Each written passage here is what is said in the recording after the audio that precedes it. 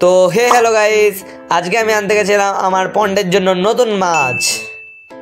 আমি এক দাদার কাছে একটা ইম্পোর্টেড অ্যালিগেটার গার্ডের অর্ডার দিয়ে রেখেছিলাম, আর এটার দাম পড়েছিল প্রায় হাজার টাকা। তো আমি সেটা আনতেই তাড়াতাড়ি এখানে চলে আসলাম। আর এর সাথে আমি নিয়ে নিলাম দুটো ক্যাটফিশ আর দুটো অ্যালবাইনো শার্ক আর বাড়ি আসার পর আমি মাছগুলোকে এখানে পনেরো মিনিটের জন্য অ্যাকুমুলেশনের জন্য ছেড়ে দিয়েছিলাম। তারপর আমি ক্যাটফিশ আর শার্কগুলোরে তাড়াতাড়ি জলে ছেড়ে দিলাম। তো আমি তাড়াতাড়ি অ্যালিগেটার গার্ডটাকে বালতিতে ঢেলে নিলাম আর তারপর নেট দিয়ে আমার পন্ডে রিলিজ করে দিলাম। তো দেখতেই পাচ্ছ, এখানে ক্যাটফিশগুলো ভালোই ঘোরাফেরা করছে। তার সাথে আমার অ্যালিগেটার গার্ডটা খুবই স্ট্রেস তাই চুপচাপ রয়েছে। আর শাকগুলো মোটামুটি এখানে অ্যাডজাস্ট হয়ে গেছে।